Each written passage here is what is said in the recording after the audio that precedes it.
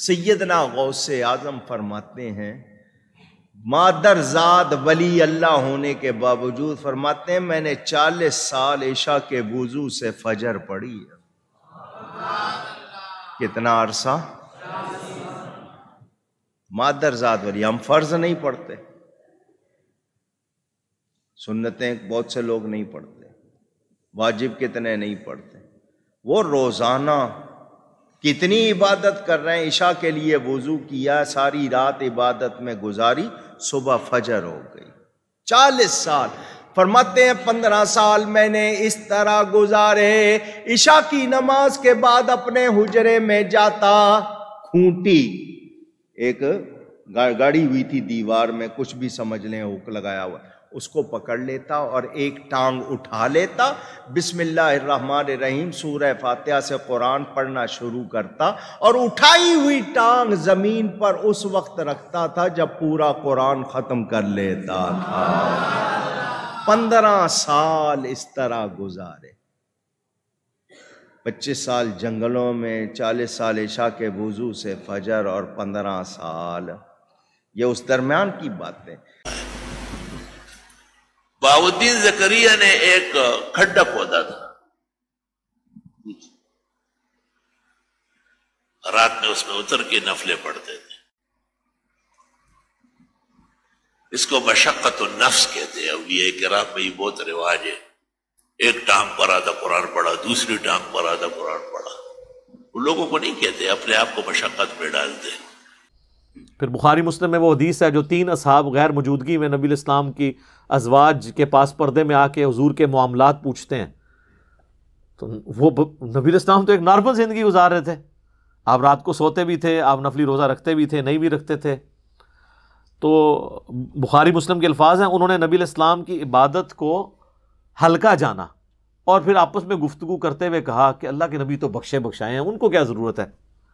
एक ने कहा कि मैं पूरी ज़िंदगी शादी नहीं करूँगा, सिर्फ़ अल्लाह अल्लाह करूँगा। दूसरे ने कहा कि मैं रोज़ाना रोज़ा रखूँगा। और तीसरे ने कहा कि मैं रोज़ाना पूरी रात जागा करूँगा। ये कहते हैं चालीस साल तक इशा के वज़ू से फजर। ऐ तक क्या होता है इन्होंने ये चले गए।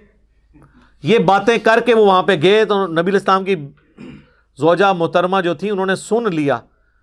और जब हजूर वापस आए तो उन्होंने कहा कि जी ये ये दावे करके गए हैं। हजूर ने कहा, बुलाओ उनको। बुखारी, मुस्लिम के अल्फाज हैं। बुलाया गया, आप मैं अल्लाह की कसम, मैं तुमसे ज़्यादा अल्लाह का तकवा रखता हूँ। ये पहला जुमला, ये छक्का था कि तुम तकवा और नेकोकारी ये समझते हो कि ये हरकतें करोगे और मुझसे ज़्यादा कोई नेक हो सकता है, मैं अल्लाह का पैगंबर हूँ।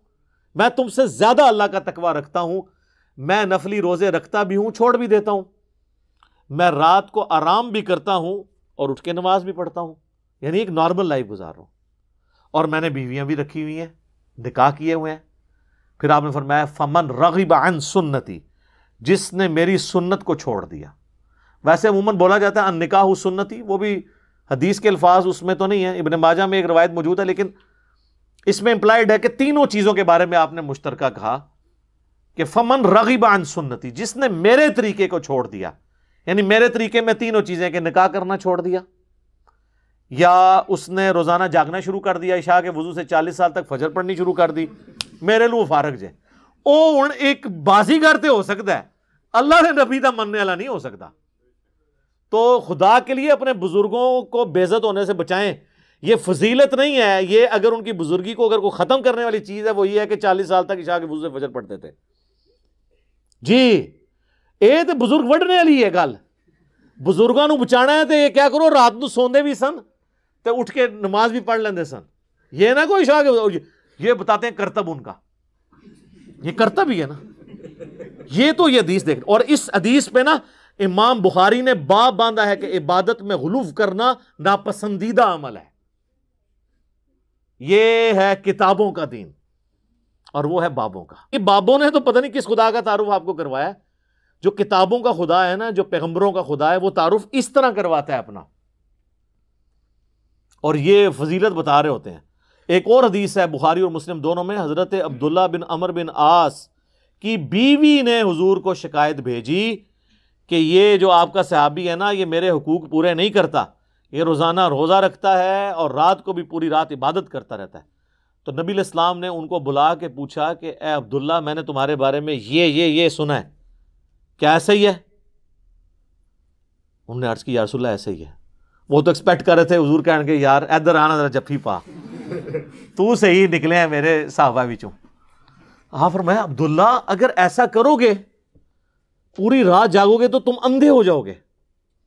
तुम्हारी आँखों का भी तुम पे हक है। तुम्हारे जिसम का भी तुम पे हक है। तुम्हारी बीवी का भी तुम पे हक है।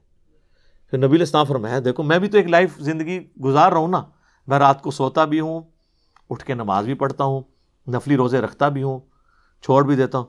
उन्होंने कहा, यार वसल्लम, मेरे अंदर बहुत ताकत है, मैं अल्लाह की इबादत कर सकता हूँ तो मैं तो रोज़ाना रोज़ा रखूँगा। आपने फरमाया कि जो रोज़ाना रोज़ा रखता है, गोया कि ऐसा है कि वो रोज़ा रखता ही नहीं।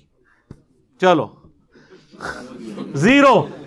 यहाँ कितने बुज़ुर्गों का कहते हैं जी, एन साल तो उन्होंने रोज़ा है। फरमाते हैं, फिर एक साल, पहले साल मैंने खाना छोड़ा, फिर मैंने पीना छोड़ दिया। तीन साल मैंने कुछ खाया, पिया नहीं। कितना अरसा? फिर कहिए, ओ खुदा ना आए गल बंद कर दो बुजुर्गी बचानी से किसी दी है पुठिया पुठिया गल बंद करो। आप फरमाया, जो रोज़ाना रोजा रखता है, गोया वो रोजा नहीं रखने वाला। फिर आपने फरमाया कि महीने में तीन रोज़े रख लो। ये गोया ऐसा है कि तुम हमेशा रोज़े रखते हो। उनका यार सुना मेरे में इससे ज़्यादा ताकत है। फिर हजूर ने और बढ़ाए करते करते आपने आखिर में फरमाया कि बस इतनी इजाज़त है कि एक दिन रोज़ा रखो, एक दिन ना रखो। ये दाऊदी रोज़े हैं। इससे ज़्यादा मैं तुम्हें इजाज़त नहीं दूँगा। तो फिर जब वो बूढ़े हो गए ना तो वो फिर वो याद करते थे उस हदीस को। कहते थे, ओ काश, मैंने हजूर की वो वाली फैसिलिटी ले ली होती। अब मुझसे नहीं रोज़े रखे जाते। तो वो हजूर ने तो मुझे पहले इतनी बड़ी ऑफ़र की थी। खैर, हमारे लिए तो इससे भी आसान ऑफ़र है। सही मुस्लिम में हदीस है जाम तिरमजी में सुनबी दाऊद में सुन नसाई में सुन बिन माजा में। ये जो छः मेन अहल सुन्नत की किताबें हैं ना, बुखारी के सिवा बाकी पाँच की पाँच किताबों में हदीस है कि जो रमज़ान के रोज़े रखे, उसके बाद शवाल के छः रोज़े रख ले। गोया उसने पूरी ज़िंदगी के रोज़े रखे। यानी हर साल वो रखता रहे ना तो साल साल के उसके रोज़े होते रहेंगे। और वो छः रोज़े आप पूरे महीने में किसी भी वक्त रख सकते हैं। बास कहते हैं, एक फ़ौरन बाद रख लो, बाकी बाद रख लो। बास कहते हैं, फ़ौरन रख लो। नहीं, ऐसी कोई नहीं है। पूरे महीने में आप किसी भी वक्त छः रोज़े वो पूरे कर लें, जिस तरीके से मर्ज़ी। साथ रखने का फ़ायदा होता है, एक रूटीन बनी होती है तो रखने आसान हो जाते हैं। क्योंकि बाद में फिर जैसे ही थोड़ी गैप आता है ना तो फिर रखने मुश्किल हो जाते हैं। बेहतर यह है कि ईद के फ़ौर बाद रोज़े साथ शुरू कर दिए जाएँ, जितना आसानी के साथ कोई रख सकता है।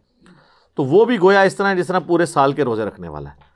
तो सर, ये किताबों का दीन बहुत आसान है। मैं अक्सर अपने भाइयों से कहता हूँ, लोग तो ये कहते हैं कि इल्म दीन आएगा तो फिर मुश्किल हो जाती है, अमल करना पड़ जाता है। सर, ये लोग कहते हैं, हालाँकि अगर आपके पास इल्म दीन आ जाए ना तो आपके लिए दीन पे चलना आसान हो जाता है। कई काम आप ऐसे कर रहे होते हैं जो फजूल होते हैं। और आपने खाम खा अपने आप को मुसीबत में डाला होता है। और वो अल्लाह की नाफरमानी के काम होते हैं। और आप उसमें मुशक्क़त उठा के तो बड़े सवाब की उम्मीद लगाए बैठे होते हैं। जबकि अल्लाह ने उसे ज़ीरो से मल्टीप्लाई करना है। सही मुस्लिम हदीस है, नबी इस्लाम फजर की नमाज़ पढ़ने के बाद अपने घर तशरीफ़ लाए तो आपने अपनी जोजा सैदा जवेरिया को देखा कि वो मुसल्ले पे बैठी हुई है। तो आप काफ़ी देर बाद जब वापस आए ना तो वो अभी तक मुसल्ले पे बैठी हुई थी। कम अज़ कम डेढ़ दो घंटे तो बनते हैं। फजर से लेकर इशराक तक। और उसके भी बाद हजूर तो सही मुस्लिम में आता है कि काफ़ी जब सूरज बुलंद होता था तो वापस आते थे। तो आप जब गए, यानी फजर के लिए जा रहे थे तो वो मुसल्ले पे थी और वापस इतनी देर बाद आए तो मुसल्ले पे थी। हाँ फिर मैं तुम सुबह की बैठी हुई हो मुसल्ले पे? और मैंने आने के बाद तीन कलेमात, चार कलेमात तीन दफ़ा कहे हैं, और मुझे उससे ज़्यादा सुहा मिल गया जो तुम सुबह से बैठी हुई हो।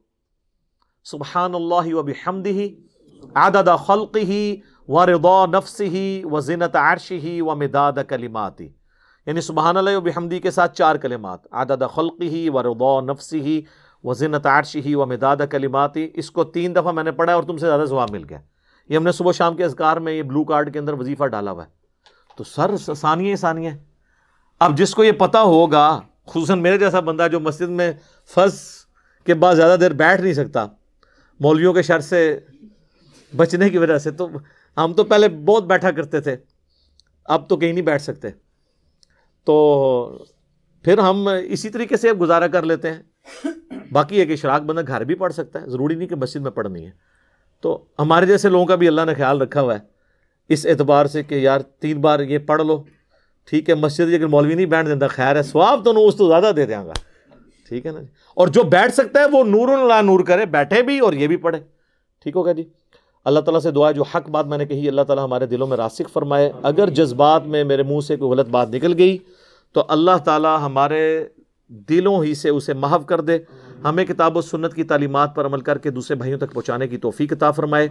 सुबहानकल्लाबिहमदिक अशदल्लास्तफ़िरुक व अतूबु इलैक।